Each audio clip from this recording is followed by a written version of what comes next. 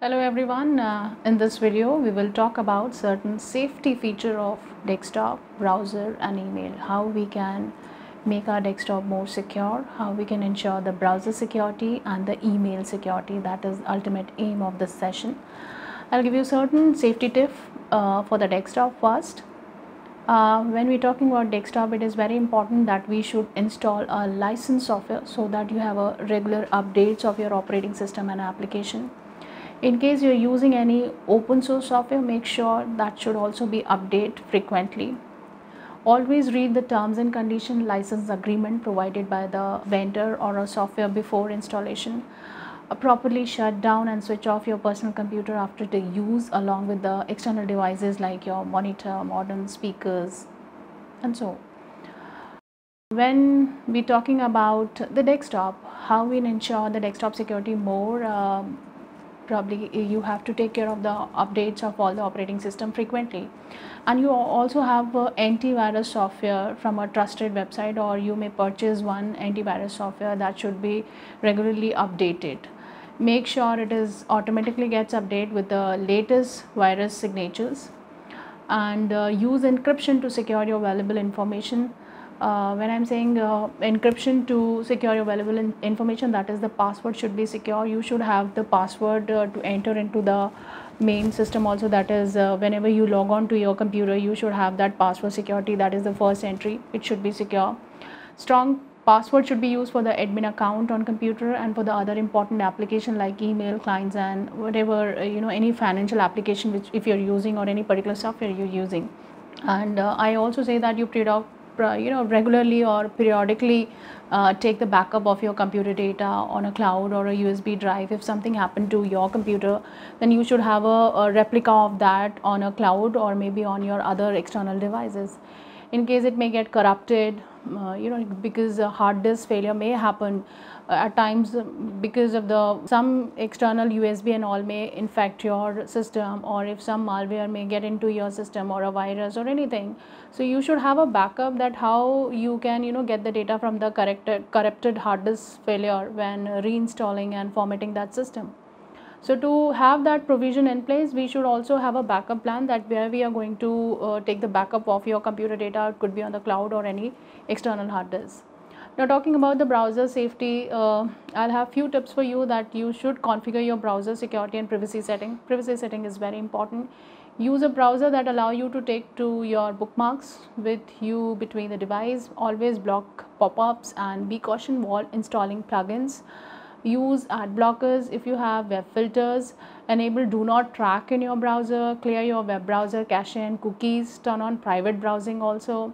You know i always recommend use a vpn if you are um, browsing something. That is the virtual private network browsing is also very important for the connection end-to-end -end connection. Use a password manager in place. Ensure that you have up-to-date antivirus firewall protection in place. Never go for an autofill option so these are the important tips uh, we should take care for the desktop and uh, your browser security. Now I will also recommend that you should optimize your browser setting uh, which is a, a critical step in using the internet securely and privately. Today's popular browsers include built-in security features are there. When you talk about Google Chrome or Firefox or Mozilla and all, they have an inbuilt security feature. But users often fail to optimize their browser security setting on installation Failing to correctly set up browser security features can put you on higher risk for malware infection or a malicious attack also. So you talk about any today's popular browser including your Google Chrome, Mozilla Firefox or a Microsoft Internet Explorer also. Well, it is impossible to guarantee complete protection from cyber threats, but I may give you a few tips to increase the security of your web browser. This security can be accessed through the uh, Chromes or Mozilla if you're using or Internet Explorer there is an option called when you click on the settings there is an option called advanced settings menu. When you navigate between you know from the in the Chrome settings you can enable the phishing and malware protection. Make sure that your Chrome's phishing and malware protection feature is enabled. Under the you know privacy section there is an option of enable phishing and malware protection. This feature will warn you if your site you you're trying to visit maybe a phishing or a content uh, which contain malware and all so if you have this provision in place so you're protected then turn off instant search. This instant search feature should be turned off uh, for optimal security. While it offers some convenience in searching, having this feature enabled means that anything you type in the address bar is instantly sent to, to Google. Do not sync. Disconnect your email account from your browser under the personal stuff uh, tab also. Syncing your email account with your Chrome browser means that the personal data, preferences and more is stored on the Google server. So if you must use sync, select the encrypt all sync data. So what is important here, if you're syncing your email account with your browsers or personal stuff, it is very important you should go for the encrypt all sync data option and create a unique uh, passphrase for this uh, for encryption. Now there's another important tip for you that is configure content setting that is the Chrome content or a Mozilla content setting is also important. Click on content setting under the privacy section of your uh, setting of uh, Chrome or uh, whatever browser you're using. Then you click on cookie. Select the keep local data only until I, call, I quit my browser. So go for the block third-party cookies and site data. This option ensure that your cookies will be deleted upon quitting from the Chrome and that advertiser will not able to track you using third party cookies. So again this is an important feature that is block your third party cookies and site data.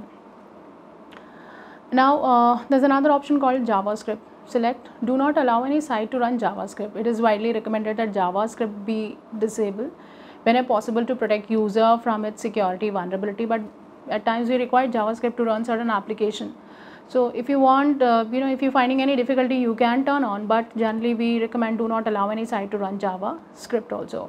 Now pop-up select, do not allow any site to show pop-ups, the notification which comes here and there. So you don't want that botheration, so, botheration. So you uh, do not allow any site to show pop-up. So again, disable that location. Select do not allow any site to track my physical location also people may get to know about your location and everything right? So it is also important that you put off this feature. Then configure password and form setting. So what is there? This basically configure password and form setting is a part of your autofill. So there is an autofill option. So you have to disable autofill and deselect offer to save password. I, the moment I enter on the web under the password and form section so doing so will prevent Chrome from saving your login and password. So if you disable autofill, so whenever you are giving your password and anything, you know, the Chrome will not autofill it. Uh, it means you are not saving it, uh, which again may create a vulnerability. So I generally recommend that you disable autofill option and deselect offer to save password. And uh, yeah, so these are the small small tips which is important for the browser security. You may also go for the private browsing. So that's all for the browser security. Now talking about the email security. Email security is dealing with the issue of unauthorized access or somebody is uh, doing an inspection of an electronic mail.